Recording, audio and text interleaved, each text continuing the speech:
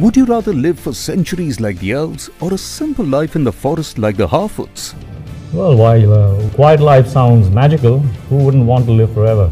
Would you rather own a magical staff or giant hammer? A staff, yeah. I mean, there's, there's so much more you can do with it. Would you rather join the Dark Lord Sauron or fight against him? The good side. Always. We face the dark forces together, the Dark Lord. Would you rather ride into battle on a great eagle or a wolf like warg? I'd go with the Great Eagle, 100%. No offense to the wargs.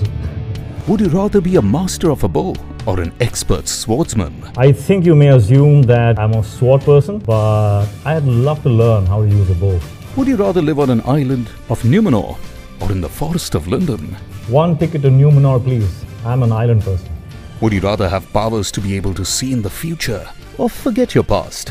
Well, bring me a crystal ball. Let's see what's next.